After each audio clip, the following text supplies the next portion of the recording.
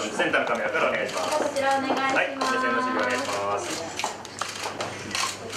はいどうぞどうぞはい目線の指示はい一番下手の方ですねお願いします。にっこりにこやかにお願いします。ウェディングドレスを着る機会って一生に1回しかないと思うのでそんなあの素敵な日のこう一番の主役の方の着るドレスをこうプロデュースさせていただくっていうのはすごく、ま、責任感もありますけど光栄だなと思ってあの楽しみながらというかすごいワクワクしながら作ってました女性らしい華奢なドレスにしたいなと思って結構そのヘアアクセサリーとかこういうイヤカーとかなんかこういうデザインとかもすごい細かくてなんかまあ女性の華奢らしさを存分に出したドレスになっているのでなんか細かいところにも注目していただければ嬉しいなと思いますし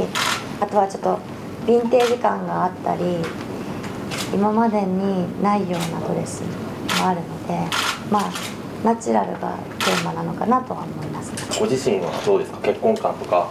そうですね。あんまり今は結婚したいとは思わないです。ね 今は仕事に集中したいなと思うのであんま結婚願望はないですけどでも、まあ、将来的には結婚ししたいなと思いますしちなみに今恋はしてないんですしてないです。